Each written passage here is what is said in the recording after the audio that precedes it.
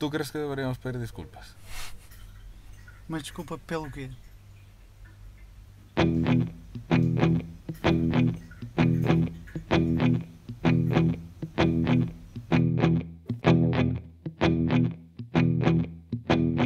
Peça desculpas.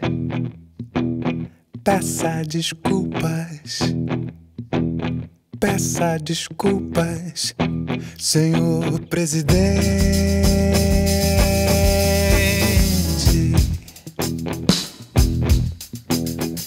Peça desculpas.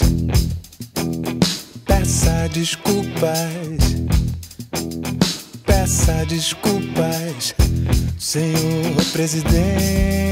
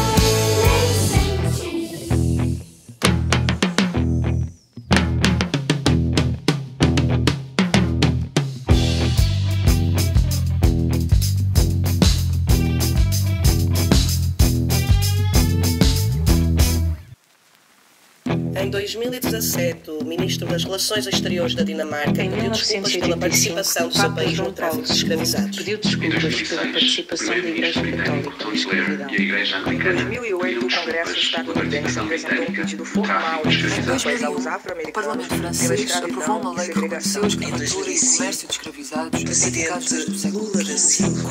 Crimes contra a prefeita de Amsterdã pediu desculpas oficialmente Autoridades em nome da do cidade pela sua participação no 1999 comércio de Em escravizados. 2009, o presidente do Peru pediu perdão aos afro-peruanos pela expulsão que sofreram por causa da escravatura e pela discriminação vivida desde a época colonial.